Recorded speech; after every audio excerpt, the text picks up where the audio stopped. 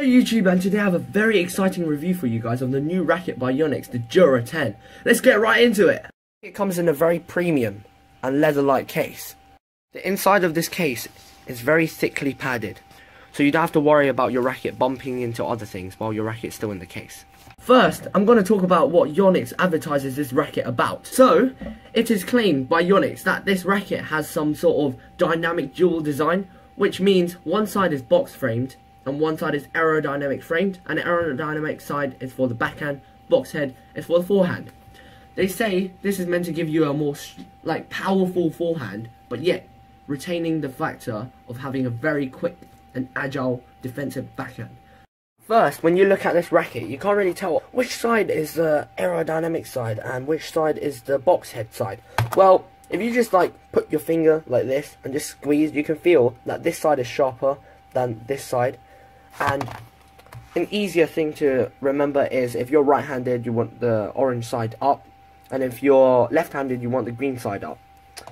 And that's how you hold the racket. It claims that this racket has a stiff flex for its shaft, which allows for better control, but still retaining that factor of power. On one side of the shaft, it says, made in Japan, even balance and long size.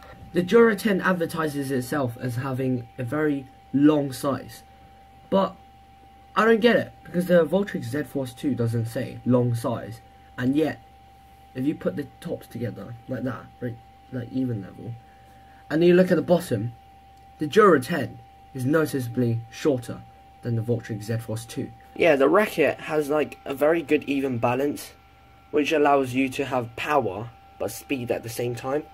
And I don't understand why they say long size because when I hold this, it feels just average to short compared to like the Voltric Z Force 2 for some reason. On the other side of the shaft, it says high modulus graphite, nanometric, super slim shaft.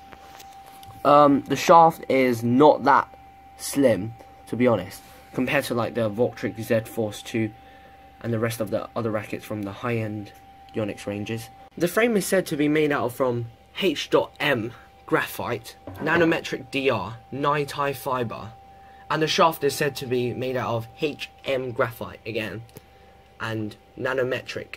Here I have the 3U G5 edition of the racket, and it has SP on it. Okay, so let's get on to my opinion now.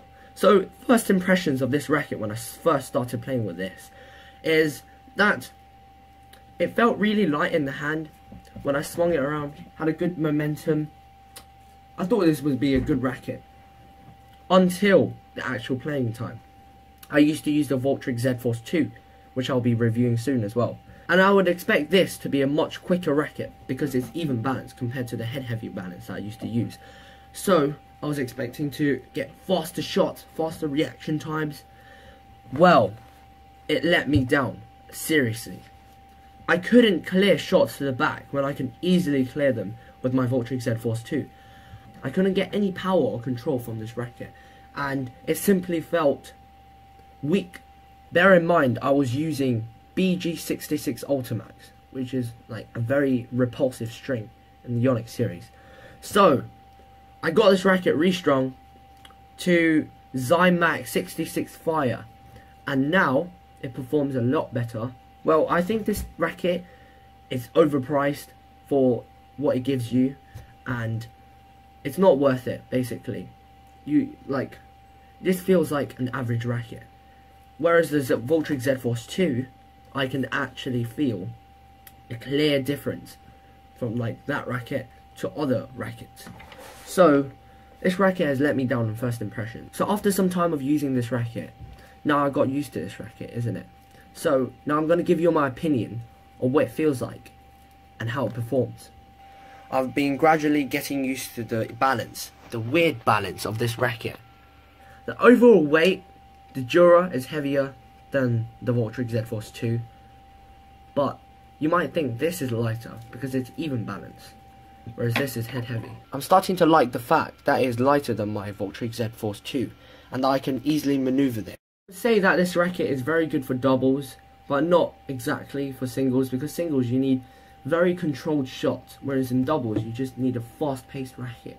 Well, of course you need control, but fast-paced and reaction is like more vital for the game. I could get very powerful smashes with this, very quick smashes, but I'm starting to feel that I'm lacking control with this racket. And I couldn't get the same sort of like touch as I would get from the Voltric Z Force 2. Defensive shots are very good.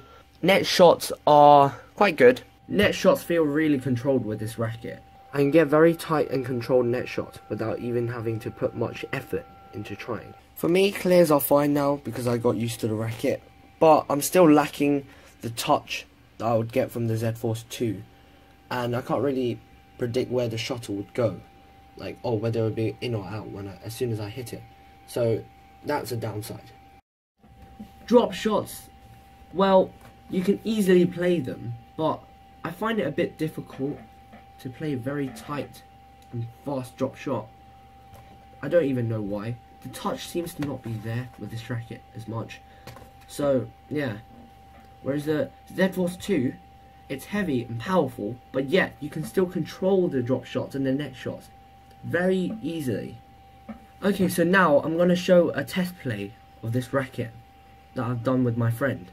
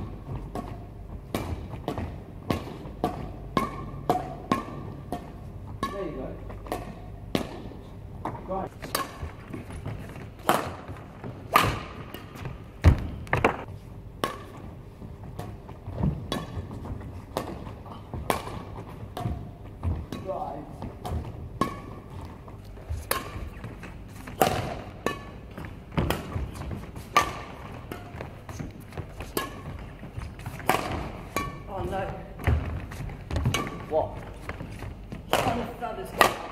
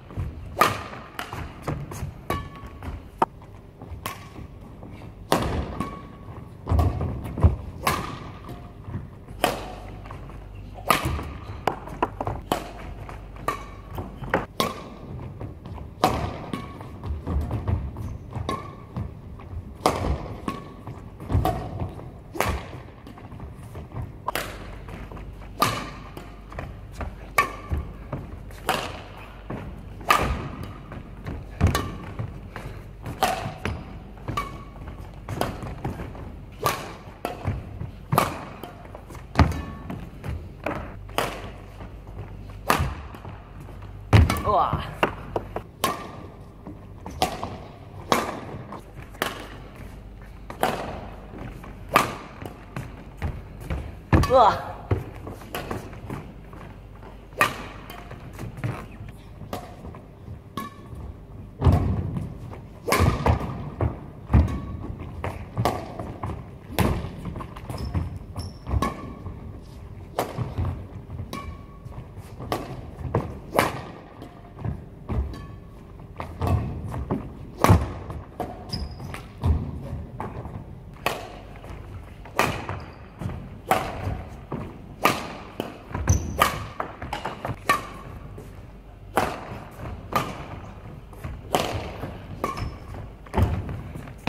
you've enjoyed this video or found it informative, please like, subscribe and tell your friends about my channel. Bye bye!